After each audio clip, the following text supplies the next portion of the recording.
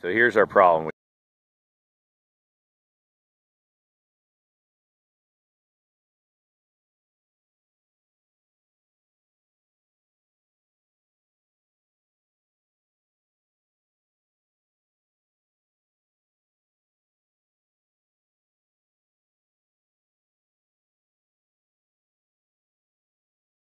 Go for a little walk.